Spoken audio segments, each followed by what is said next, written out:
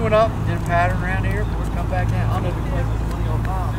But the thing was, I'd have probably kept, you know, I would have done it again. And damn, I didn't see it was three or four months.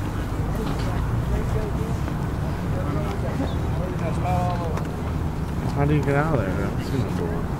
I think it's on the other side, maybe.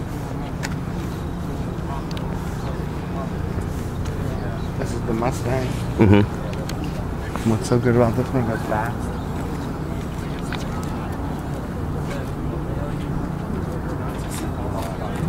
Hmm? Um, for how many?